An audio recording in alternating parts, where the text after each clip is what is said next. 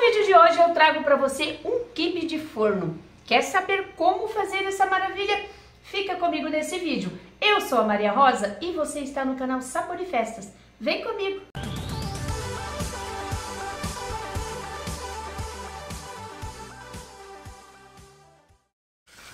Bom, então eu vou passar os ingredientes que eu vou utilizar para fazer este quibe de forno.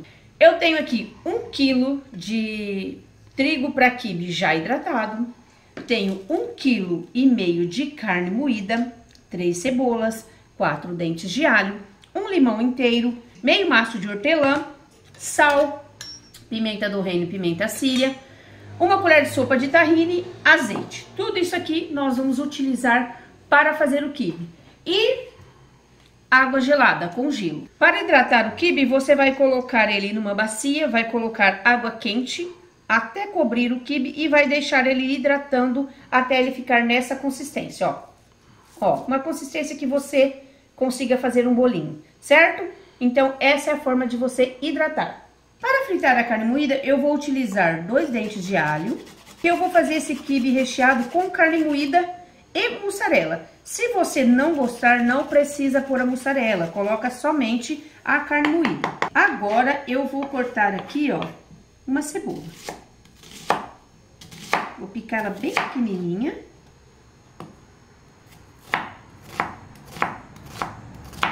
Isso aqui é para o recheio do quibe, que vai ser a carne moída refogada. Piquei a cebola e o alho, coloquei duas colheres de sopa de azeite, Agora é só levar no fogão para refogar. Olha aí, vou levar no fogão para refogar. Vou deixar este alho e essa cebola fritar no azeite até ficar douradinho. Depois eu venho com a carne moída. Eu vou começar o processo de bater a massa do quibe. Vou pegar aqui algumas folhinhas do hortelã. Já estão lavadas. Quanto mais hortelã você pôr, melhor, tá, gente? Fica mais saboroso o quibe. Hum, gente, dá um perfume, né, o hortelã maravilhoso. Nesse processo, eu vou utilizar o multiprocessador. Agora que eu dourei o alho e a cebola, eu vou colocar a carne moída. Eu tenho um quilo e meio de carne moída. Então, eu vou pôr aqui metade nessa panela e metade eu vou utilizar para fazer a massa do quibe. A pimenta síria e a pimenta do reino, o sal e vou deixar refogar. No multiprocessador, eu vou passar a massa. Então, eu vou pôr aqui o hortelã, a cebola, o alho Vou pôr três colheres de sopa de azeite.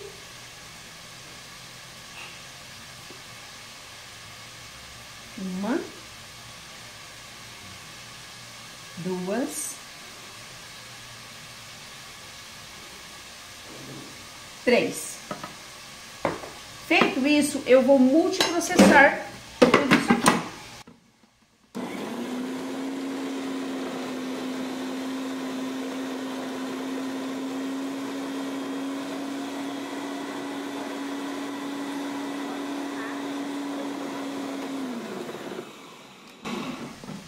Fiz uma massinha. Agora, eu vou colocar o trigo, que já está hidratado. Você vai fazer aos poucos, porque não vai caber tudo no seu multiprocessador. Colocar um pouco da carne moída. Coloquei o trigo e a carne moída, agora eu vou multiprocessar.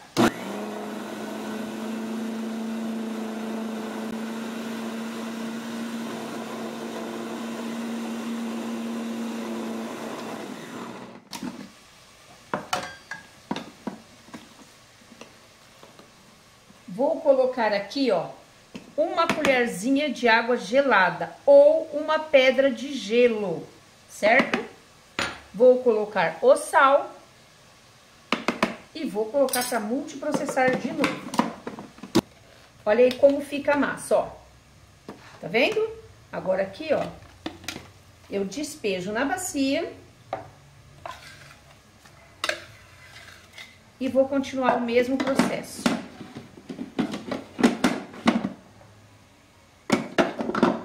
Só que agora eu vou colocar o trigo e a carne moída. Um pouquinho de sal, você vai dosando o sal aí, tá?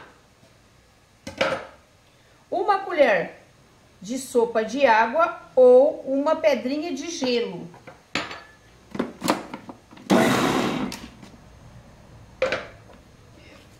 Dá uma rapadinha do lado assim, ó. Dá uma ajeitadinha. Tira o quibe que ficou na lateral do multiprocessador e torna bater. Vou fazer este processo com todo o trigo e a carne moída e já volto para mostrar o resultado. Ficou uma massinha assim. Agora eu vou pegar um limão, vou pôr aqui raspa de um limão. Se você tiver o siciliano, pode ser o limão siciliano.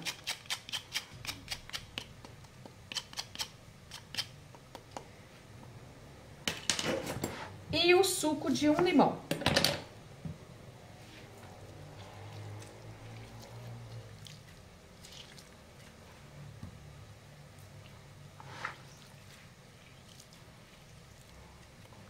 Agora aqui é mão na massa. Vou salpicar mais um pouquinho de sal. Olha a consistência que tem que ficar a massa, ó. Essa é a consistência, certo? Agora vamos terminar o recheio e finalizar o prato. Fogo já desligado, eu vou acrescentar uma colher de sopa de tahine e uma xícara de cheiro verde. Se você não quiser pôr o cheiro verde, você pode pôr só a salsa, que também fica bem bacana. O tahine você vai colocar somente quando você desligar o fogo. Feito isso, é só montar o prato. No refratário que vai ao forno, eu vou pôr azeite. Forno pré-aquecido a 200 graus. Agora que você já untou o refratário, você vai colocar uma vasilhinha com água para untar a mão. Porque agora você vai vir colocando a massa. Molha a mão.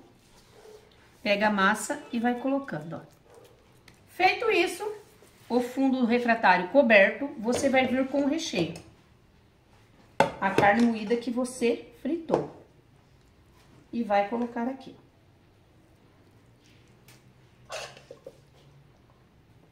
Nesse momento, você pode pôr catupiry se você quiser, você pode pôr mussarela. Aí, gente, o recheio, na verdade, vai ser a gosto seu. O verdadeiro quibe, gente, não vai nem mussarela e nem o, o catupiry. É só a carne moída. Se você for fazer o quibe sírio do jeito que está aqui, você vai cobrir, fazer os riscos na diagonal e levar ao forno. Mas a Maria Rosa é brasileira, é brasileirado o meu quibe. Eu vou rechear com mussarela também. Vou pôr a mussarela. Vamos lá então? Se você gostar, também pode pôr o catupiry, tá? O requeijão, no caso. Feito isso, vou molhar a mão e vou pegar a massa. Agora aqui, ó, você já pode dar uma chatada na massa para ficar mais fácil para você pôr no refratário, tá? Você vai amassando aqui, ó, e vai colocando no refratário. Molha a mão Faz um amassadinho e vai colocando no refratário. Vou deixar a medida desse refratário meu aqui para vocês e a quantidade do que foi utilizado. Molha a colher e vai passando aqui, ó, para você ir acertando a massa no refratário, ó. Molha o fundo da colher e passa. Agora você vai riscar.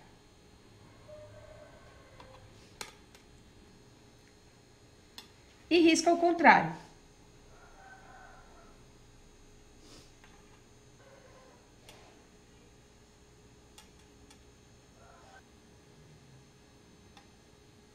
Feito isso, você vai pôr o azeite e vai levar ao forno. até dourar. Dourou, a hora que isso aqui estiver dourado, está pronto.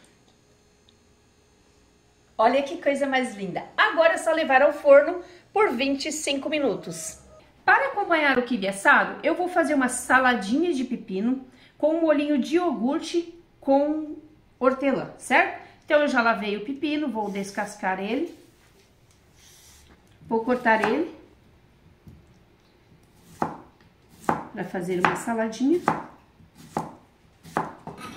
Agora, eu vou colocar aqui em uma travessa. Cortei o pepino e coloquei ele numa travessinha. Agora, gente, eu vou picar o hortelã. Lembrando que o hortelã já foi lavado, tá? Porque senão depois a pessoa fala, ah, você não lavou hortelã? Ah, lavei, gente, tá lavadinho. Cortei o hortelã, agora eu vou pôr aqui no iogurte natural. Suco de meio limão.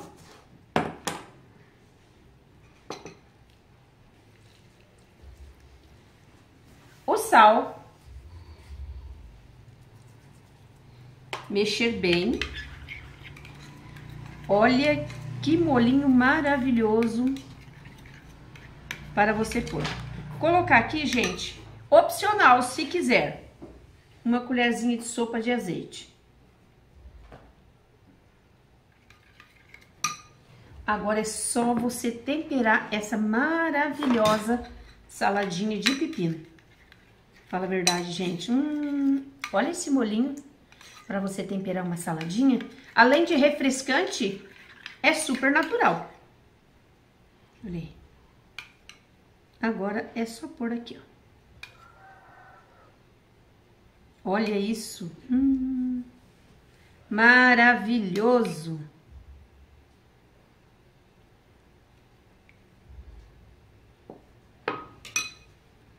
Olha, agora é só saborear. Vamos lá? Vamos mandar beijos hoje para Silvia Helena, da cidade de Santa Cruz das Palmeiras, estado de São Paulo. Um grande beijo também para Zélia Mendes, de Foz do Iguaçu, no Paraná. Aparecido de Souza e para Dona Maria Aparecida de Souza, lá da cidade de Paranavaí, do Paraná. Eles estiveram aqui na minha cidade e eu tive o prazer de conhecê-los. Vou mandar também um beijo para Cida, mulher do Jacir, o caipirão, aqui da minha cidade de Penápolis. Um grande beijo a todos vocês. Obrigado pelo carinho de sempre. Retirei do forno, agora você rega um pouquinho de azeite. Olha aí. Coloca aqui uma hortelãzinha, gente, pra, só para fazer uma decoraçãozinha. E é só servir. Olha aí que maravilha.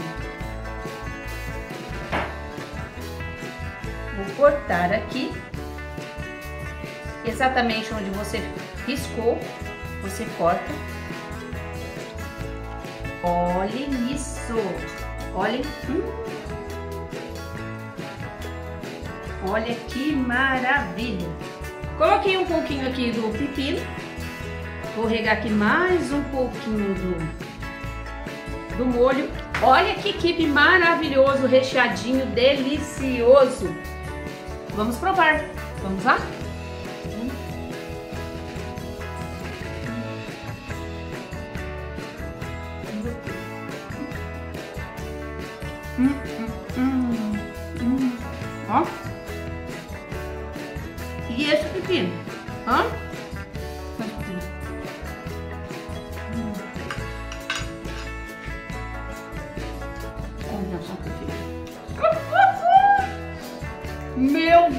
Céu. Gente, faz aí. Quibe de forno, saladinha refrescante de pepino. Você vai amar. Se você ainda não me segue no Instagram e na página do Facebook, me segue lá, Sabor e Festas. Gostou do vídeo? Deixa muito like. Não é inscrito nesse canal? Corra, inscreva-se, ative o sininho, que você ativando o sininho, o YouTube vai notificar você todas as vezes que eu postar vídeos maravilhosos como este. Beijo, tchau, até o próximo vídeo. Tchau!